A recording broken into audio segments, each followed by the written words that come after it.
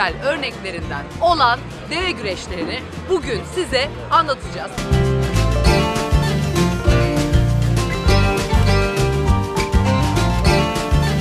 Develer güreşirken mutlaka ağızlıkları oluyor.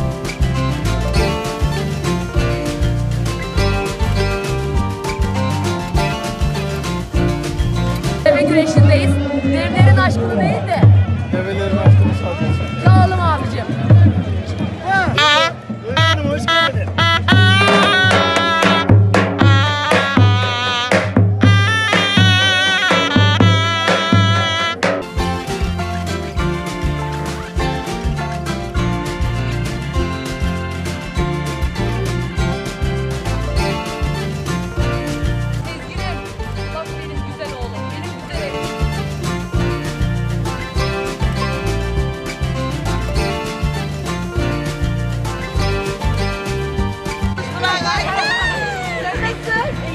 Allah eminim vallahi ben de. Bozdan diyorum ben onu dedim.